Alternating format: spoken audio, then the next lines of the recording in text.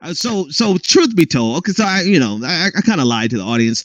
I had a microphone on my head like an hour ago, uh, but I told the audience I was gonna, you know, we're gonna run ten minutes late so that I could find a microphone. I didn't want to admit that I was watching Rachel Maddow because I wanted to see if Rachel Maddow was actually going to waste our time the way I suspected she was going to waste our time. And so far, 10 minutes in, if you didn't drop like something 10 minutes in, in the first 10 minutes, if you don't drop something before the first commercial, that means you don't have anything. So Rachel Maddow says that she has uh, Donald Trump's tax returns. Now, in full transparency, everybody already suspected that, you know, she floated that it was from 2005. So nobody had any expectation going in that it was something recent like 2012 or 2014. Um, and the White House subsequently came out really quick and said, you know, quoted his numbers his from his 1040 that year. Uh, Brandon, you have those numbers. Do you you, recall, you have those numbers handy? What were yeah. those numbers for? Uh, that he paid 38 million dollars on taxes on uh, 150 dollars, uh, 450 million dollars. All right, so that was his. Basically, that's all you're going to pull out of a 1040. Um, you can get. I mean, I guess you can get a couple other items from the 1040. Let me let me not say that. So, but before the first commercial break, she has not done anything but set up this big explainer as to why his taxes are important. And, uh, I mean, can can I uh, no shit, Sherlock? We know his taxes are important. We're quite I'm quite sure that you're going to find something that he doesn't want you to see. Otherwise, he would just release them. However, Rachel Maddow has just wasted the time of all of interested America. I won't say all of America because most of America is probably watching Real Housewives of something right now. But Rachel no, Maddow is just no. wasting her time. Whatever. No, I don't even want to. She's wasting. She's wasting my time in your time. But I mean, let's let's really break this down, right? Uh, this whole tax thing, along with the Russia thing that has preceded it on Rachel Maddow going through, is not meant for us, right? Mm, you know, this right. is not this is not a critique of Trump or the Trump administration that's meant for you know, people on the progressive left, people on the critical left. This is meant for the, you know, this has been as more red meat for the liberals, uh, the, the, you know, the still with her crowd, those people who are going to town halls and, you know, making, doing, making them into a recreation of that one boardroom scene from Doctor Strangelove. That's who this is for. And, and frankly, and frankly, it, it's interesting to watch Rachel Maddow on this downturn, right? A few years ago, or rather a few, um, yeah, just ago, before, just before just before yeah. this election, right? Yeah, a few months ago. I mean, I remember saying, "Well, hey, you know what? I don't watch MSNBC, but Rachel Maddow does stand out uh, on MSNBC as being decent on more than a few things. Uh, way yeah. better than Chris Hayes, way better than um, well, definitely better than Joe Scarborough. But since the since the election, since the election of Donald Trump, she has really been even before.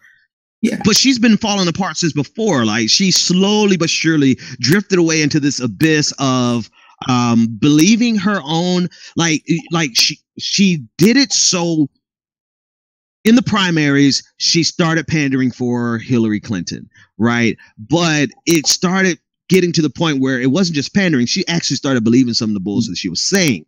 Now she's locked in. She's she's on the same level as Joy-Ann Reid, in my opinion, in terms of the psychosis, in terms of the Russia hysteria. And and and again, anybody who watches my show, uh, they're probably frustrated with me because I'm the first one to say if there's something there, let's investigate to see if there's something there, and then let's address it accordingly. Blah blah blah blah blah. However, the hysteria that MSNBC is stirring up is undermining not only their legitimacy, which I don't really care about, is undermining the the quote unquote resistance against Trump because it's it's it's it's validating in the minds of people who think that liberals are have and progressives uh, have no nothing valid against his president, and they're really undermining that. When instead they could be focusing on the issues that really sincerely matter. They're they're they're pandering to this clickbait, which you know they're getting their ratings. They're getting their ratings because it's a fever pitch, and they're doing I think they're they're escalating a level above what Fox News was years. Like they they they've taken they've taken where Fox News left off and they decided, well, we're not just going to repeat it. We're going to go from here and go higher and go further and go even more insane. So MSNBC is really undermining themselves, and I think this is what this whole Donald Trump tax return tonight was all about. I, I for one, and I'll toss it back to you, Brandon. I for one, I refuse to do a sensationalization story, a sensationalized story for the sake of clicks because what's more important to me is having substance that people can always come back to versus the hype that they that got you there. She might have a million, two million viewers tonight. Tomorrow's just gonna have like, you know, half that or a quarter of that. Well, I mean, you hit nail on the head right there, right? So since she has adopted this fear mongering Neil McCarthy rhetoric, her ratings have shot through the roof. I believe last time I checked, um, her countdown to the Russia, the Russia Trump connection countdown in the you know subsequent show was rated at number one. She blew Fox News out of the water, and this is where Rachel Maddow and you know Huffington Post and a lot of these you know liberal media outlets have got are very dangerous for Democratic Party because they are amping up this Russia hysteria. They are amping it up. They yeah. are they they are they are making this vast, com- complicated conspiracy, and they're you know they're further feeding that fire. When right now needs to be the time in which the Democrats are pulling back from that, because as we saw in an interview from with BuzzFeed, and I hate having to reference BuzzFeed because it's BuzzFeed, but this is literally an interview that they did, and it's the only place that has really referenced this. Uh, they BuzzFeed news reporters interviewed members of the Senate Intelligence uh, Committee who was responsible for investigating this connection, and they have said already they do not believe there is any evidence of direct collusion between Trump and the Kremlin, Trump and Putin, uh, in order to get him elected or any direct interference.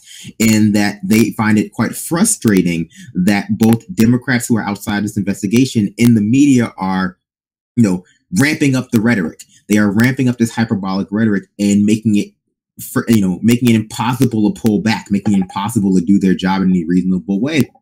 And honestly, yeah. Rachel Maddow is putting Democratic Party in a very difficult position, in which at some point yeah. they're going to have to pull back from this Russia Trump narrative. They should do it. They, they should obviously right. be doing it now because if they wait and they go through a full, not that there, there shouldn't be a special prosecutor, a special investigator uh, into this whole thing, but if they if they don't start de-emphasizing that from their strategy to defeat and resist, what we're going to have is 12 months of more rhetoric only to you know get to 2018 right before the right before the midterm elections and they're going to lose again I'll shift gears. Let's go back to Rachel Maddow. She is getting scorched, right? She is getting murked on Twitter she, right now. Did she not say anything? Did she, did she not? Have, did she not? Did she not? Um. Did she not re- release any, in, in, you know, important information? uh, not, nothing. Out to the mentions for Rachel Maddow, and, and this they're like um the, my favorite so far is Rachel Maddow went full fake news. You never go full fake news. Uh, paying homage to uh, that that super racist movie uh, back in the day. Um, uh, and super, super, Tropic Thunder. Thank you. Uh, um, then then uh, my boy uh, D'Lo Taylor on Twitter. Uh, you guys should follow him at D'Lo underscore Taylor. He said, as you watch Rachel Maddow destroy her career live on MSNBC with this bogus Trump tax return story, keep this in mind. And he shared the meme of of Geraldo and the Capone vault saying, "The internet never forgets." I mean, she is. I, I this is why. This is why. No matter what, even at at our paltry level, right? We're you know we we might have you know five thousand people who will consume my content by tomorrow. Like right live, we will only have a few a few dozen who are listening or watching watching live. Um, but even at our paltry level, we know better than to oversell a story that you can't deliver on. I, I, would not. I would have gone to my social media manager and I would have gone personally have gone to my editors, my whoever, whoever my I would have gone to them and and and ripped them a new one and told them to pull the, I would fire somebody right now. But the thing, mm, the fact of the matter is, is it's probably Rachel Maddow who was like, yes, oh, let's push this. This is going to be great. The ratings are going to be great tonight. And I'm telling you, I'm telling you, this is not going to hurt her at all. I think that you're living in a, a, a bubble. But the people, the people who decided to watch this, right? The, who knew it was the people who knew that it was one tax return, one 1040 from 2005, who still decided to watch this. I do not think they are actually absorbing the content of what she is saying in terms of like the actual minutia and the detail and how completely meaningless it is. I think that they are absorbing the, like the spectacle of her releasing a tax reform and her talking about how bad Trump is. Same with her Russian connection. I think this is going to be fine for her. I think that the people who are watching it are going to enjoy it. From my perspective, like and this is why I said she was she's been on a downward spiral in terms of quality since the election. Because the first time I was like, okay, well, Rachel Maddow is done to me was when she came out with the fake math. Forget fake news. She did fake math after the election uh, yeah. when she decided that, well, hey, if you just take all these votes from other people and then 18 more thousand more vote, then, you, then Hillary Clinton wins. like she went full Glenn Beck. All she was missing was the whiteboard. And so, oh my I got hang on, hang on. I got I got to jump in there. Uh, Sean Spicer. Um. Oh no. Okay, it's a parody account. Never mind. Shut my mouth. Go ahead. Finish your thought. No. So it, it, it's gotten to the point where Rachel Maddow and MS Rachel Maddow specifically and MSNBC generally is you know they're doing what David Brockett was, you know, has hinted at trying to do. Like they're making the Breitbart of the left, but in this case, they're making the Fox News of the left. And I and I will say this: apparently, what she's doing with these tax returns are not exactly legal. And, you know, it's a form of, obviously, of whistleblowing. But part of whistleblowing, part of you know, uh, leaking stories, part of you know, violating the law to do that kind of thing as it exists. You know, it usually necessitates the thing the thing that you're leaking or whistleblowing actually being actually meriting the law being broken. Like where like where this becomes egregious is that this is probably against some federal statute, which I'm pretty sure it is, and it's also completely meaningless. And mm. so it's like so dude like i cannot stand I, I, I personally like the, the the the scum of the earth um would be the people who uh, trump supporters who are who are who don't care like they, they have no they they love everything that trump is doing. That that particular group the deplorables i'll use her term because actually they are deplorables. But when i tell you the, the shit they're saying right now about rachel maddow is so hilarious i almost want to retweet every single one of them because here's where here's where it matters. Let me tell you where it matters. And um, guys, you know I'm at home, but I can tell my microphone is crappy. I can just I can hear it, the echo. But anyway, here's where it matters. Um, professionally, right? You know, there you know, as as much as professionals, her colleagues um, probably give each other leeway. There are there are there's jumping the shark moments in your career professionally. She's going to be fine because you're going to always have people who want to run up and and and and get more of the latest Russia conspiracy theories. So fine, she'll keep getting ratings, but she does not have a path forward after this. I'm sorry. Like this is this is taking the national attention and and using it for something worse than clickbait. Um, so as a professional, she's she's putting dings on her record as a professional. It, Will it hurt it, her in the long run? Probably not because she makes like what eight million a year, so she probably doesn't need the next job. She probably could just retire after this. But it, it depends know. on what she's a what she's a professional of. Like what is she? She's not a professional journalist. she, she's, she's a professional media, you know, media personality, professional, you know, liberal think piece, you know, rather a liberal thinker. Like, like that's what she does. So this right here, this what she's saying, this sort of micromanaging and hyper focus on Russia and tax returns that are completely devoid of any kind of policy substance is exactly what where the Democratic Party is at right now.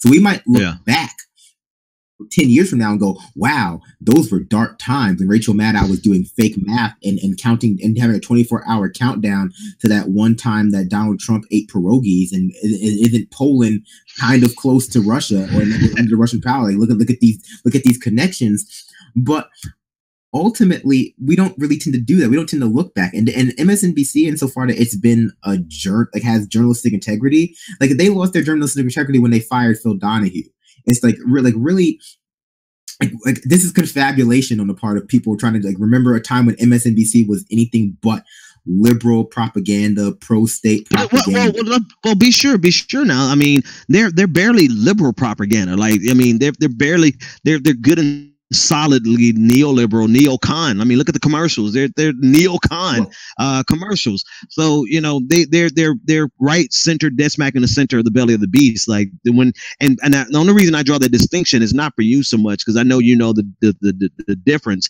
but it's for the average listener who who may have this conception that MSNBC represents anything on the left. They don't represent anything left left of, of Hillary Clinton, might on some issues be to the right of Hillary Clinton. They they do not represent leftist politics in America. And I know I'm not saying you said that, Brandon, but I just want to make sure I echo that. No, no, it's, it's, no, it's, definitely fair. I mean, I mean for, oh, no, I, I definitely agree with you. And I think that ultimately MSNBC well, all mainstream, like, you know, this is the the illusion, right? All mainstream media is entirely conservative because it's owned by, you know, corporations and it's mm. pro state, it's pro corporation, so it can only be it can only be conservative. It can only it can yeah. only be that by nature of its by nature of who operates. Here's the, here's the other problem though, Brandon. Here's all the other problems. Like there are legitimate ways of slamming Donald Trump and pimp slapping him until his face is red uh, and, and not orange. Uh, there there there are plenty of. I mean, let's let's let's let's let's, let's work the week in reverse, right? Let's but, talk but rather, the, but rather before before before you answer the question, what can you slam him on that would not also implicate a lot of other corporate a lot of or, who cares? So so, so let, let, I mean let's let's be real. Like they don't have a problem. They, they don't have they do not have a problem with being hypocr- hypocrites right so they 100% can attack uh, donald trump without even being that hypocritical on his escalation in Yemen, right? Go ahead and be a hypocrite because you're good at it. So who cares? But then he legitimately increased it by 400%, 400 plus percent, the drone strikes in Yemen. Like, destroy him there. Eh, okay, there you go. So and then then of course the the number of people like you know on, on Affordable Care Act that are going to lose their coverage. Like that is that's a gold mine. That is a gold mine in so much as it is now Obamacare is now more popular than it has ever been. The, and this is a give me. This is a give me to their to their corporate base, mm. not their progressive base, but to their corporate base. They get to stand and grandstand on Obamacare, which is a handout to healthcare industry to the healthcare industry, but they're not even doing that in exchange for Russia, right? They're not even doing that properly because they're so fixated on Russia. That's what I'm saying. Oh no, exactly. But this is why I said from before, a lot of this Russia talk is also a way to soothe their egos because a lot of this is uh, you know a post hoc justification for why they lost, right? So you have so you have your Rachel Maddows and your Chris, you know your Chris Hayes, and I think that largely you're like you're looking at this entirely from a point of political expediency. And I am trying to mix in not only this about political expediency, right? Not only is this about, you know, how they can make their money and how they can ignite the Clinton loyalists, you know, to donate to the DNC and can, you know, maintain that kind of activation, but also they're engaging yeah. in a mass delusion about why they were wrong. Yeah. And so if you look at it specific, you know, if you look at it, like I said before, you know, the politically expedient thing to do in order to win midterm and special elections would be to drop the Russia thing, go yeah. hit hit hit healthcare hard. You know, not don't only you know uh, prop up Obamacare, but prop up single payer, hit healthcare hard. They can't do that obviously because of who they're donors. But this is where they're dumb, though. this is what. But this is where they're dumb, and, I, will let you that would explain why they lost. That would not explain why they lost. Right right and and that's that's all this is. They're they're, they're and, and and actually let me let me fix that statement. It actually could legitimately be something more but they're using it as a crutch purely to assuage the, their anger and their disillusionment with the fact that they lost. And so they're even undermining the national security implications if any because they're they're they're hyping it up to be something more. When it actually could just be a matter of we need to close we need to button down the hatches. We need to we need to shake the tree a little more tighten tighten up shop of who we release, who we allow to get what, right? It could be something very simple as that. New new procedures in the CIA, new procedures in the national security apparatus to help prevent this type of leak in the future. But they're undermining things simple like that with all of this mass hysteria. And the mass hysteria is seeking something that's bigger when in actuality it could be some simple re- relevant fixes that I think any rational human being American would say, okay, we need to we need to patch up that hole because if this hole is how Russia got a hold of it, then let's patch up that hole and mm-hmm. wipe our hands clean and keep moving. But they don't want that because they need to assuage the fact that they're they're they're they're torment. They're tormented by the fact that they lost to Donald Trump. Exactly. So I mean, we talk we've been saying this from the beginning right? Not to our own horn that we have to be able to separate the russian hacking if it exists from why hillary clinton won lost. Because both things could be true or rather for eh, or rather those two things aren't mutually inclusive. She could have lost despite the russian hacking and she could have lost had the Russian hacking not occurred at all. Rather, she would have lost. But for a lot of people, it becomes one and the same. She lost because of the Russian hacking, and they and they and they fill in the blanks as need be for why that why that case might might be. But at this point, the Democratic Party, in terms of the DNC and in their leadership, the political leadership, needs to get MSNBC under control. They need to get HuffPo under control. They need to get these liberal yeah. outlets under control, however they know how, because they are going to keep ramping up this hysteria to the point at which the Democratic Party is going to have to pursue an investigation for months, um, like months long investigation down the line, only to be a big disappointment right before the the midterm elections. But we've seen we've seen that like they're they're already planting the seeds for whose fault it is for why they lost midterms. Right? Kamala Harris, Senator Kamala Harris came out and said, "Hey, we can't have these Bernie wing progressives applying their purity test to governors in states, you know, in the 27 states that are going to be up in 2018. of course, that doesn't mention that in a lot of these states, these governors are up for a term limit, like you know they're they're, they're going on term limit issues, uh, that they don't have anyone necessarily to run, and a, a host of other issues. like, but they but they they had they haven't been planning this uh, that far ahead, but like they have already set this this uh, set the uh set the narratives for why they they're going to lose in 2018. It has nothing to do with Russia. Yeah. It has everything to do with Bernie Sanders. And so it's like the Democratic Party, if they were serious about winning elections and not simply about igniting the resistance to to impeach Trump, would be like would they would be constructing a policy agenda. They're not though. Like they like and there's no way they can hammer. They can. There's no way they can hammer the whatever whatever the Republican bill is actually called. I, I, just been making funny names for it about like how everyone's gonna die. Everyone's gonna die someday, Bill. but uh, yeah, but uh, but um, it, it becomes hard to defend Obamacare without actually going a step further and pointing out how it was not a step far enough. And we do need to move toward universal health care, which is not really it's not going to please their corporate base. It's not going to explain why they lost. It's not going to. It's not going to do anything to soothe their ego or reconstruct that bubble. So why would they bother? It's not going. It definitely wouldn't make Rachel Maddow number one in ratings. And yeah, you know, I, I don't I don't know. I, I mean, I, I agree. I agree. I'm just looking at uh, this is, this everyone this sucks is, but us. That, yeah, everybody sucks but us. But no, uh, but but seriously, I love I I love the. This is hilarious this is so funny to me because I have this. I have a problem. I'm going to tell you my problem. I have a problem too. Before I'm sitting here trying to do the Benjamin Dixon show, and Benjamin Dixon show is and Benjamin Dixon is messing around on Twitter. no, no, no, I am. I'm like, I'm laughing my ass off because these deplorables are ripping her. And and and don't get me wrong, like I want to make it clear, like they they're like worse than the toe jam in between the feet of of a yeti. Um, that's what I think of the deplorables. But they are funny as hell right now. Like go go watch, go read some of the stuff they're saying about Rachel Maddow because it is it is obscene. It is it is it is disrespectful. I feel like Stephen A. Smith. This is disrespectful. The fact that she actually drew our attention to her show for something that was basically worth a decent uh, Huffington Post article, not even Washington Post article, right? It's good information for the Huffington Post. I would not for you. Yeah, I wouldn't. But see, here's my problem. And here's my problem. my time. But here's the it's, thing. It's, I, here's, I, well, well, well, let me tell let me tell you my problem before I forget it because well I won't forget it. it. My problem would have saved me from this. My problem is I don't really get excited about any news. Sometimes I have to have people tell me, Ben, that's major news. And then I'm like, oh shit, it is major news. So I have this, I have this automatic delay, this latency between the time I see a headline and the time I react to a headline. There have been very, there have been some major stories that I have personally had to um, maybe three or four hours before the average person, but I didn't jump on it because I'm like, hmm, this is kind of that thing. Rachel Maddow could have benefited from it. Don't get me wrong, because it causes me to miss some really breaking news and be the, you know, maybe the third person, not the first, but the third person to relay that message. But Rachel Maddow could have benefited from sitting on this for about two hours and just, you know, sipping on a little bourbon and really asking herself, is this really important?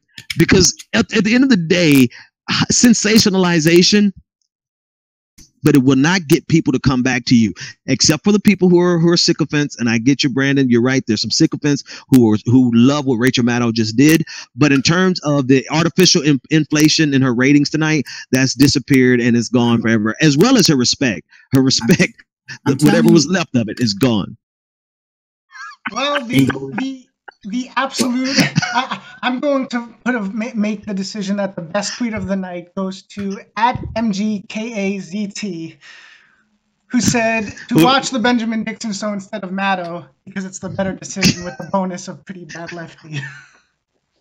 I'm telling you, man, because because dude, seriously, I, I I had a feeling I think a lot of people had the feeling it didn't matter to me that the tax returns were from 2005 because something in 2005 could be extremely relevant to. I mean, listen, I I don't know how much y'all paying taxes, but you better keep your taxes for years. Like, I mean, seven years is really generally enough but something could have happened in 2005 that had relevance. It could have shown an investment in a company that, you know, it could have been relevant. The year didn't matter as much as the fact that in the first five minutes of her show, I could tell, I could smell the bullshit that so she did not have I'm anything. Be, I'm going to be irresponsible, Ben.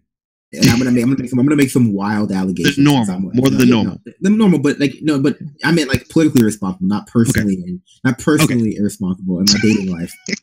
But um, but I'm gonna make the I'm gonna make the thing say like, of is there something important in his tax returns? Absolutely. Um, is there something you know? Is the Trump administration trying to hide something about their connection to Russia. a foreign power in yeah. Russia? Absolutely, right. But what it is is that there's this discrepancy or disproportionality between what is actually going on and what people think is going on. And I, I and again, uh, this this right. is this is the fault of the media, liberal media. This is the fault of Democratic Party leadership not being able to take you know take you know clean house and take itself to task for what happened. But a lot of this is also because the Trump administration is staffed by a bunch of sketchy looking white dudes. It's just like it's like and that, not that's not because they're white, but like the Trump administration is staffed by the sketchiest looking people who just cannot seem to handle any kind of conspiracy or controversy or minor thing with any kind Carter of Page, like with, with any kind of grace.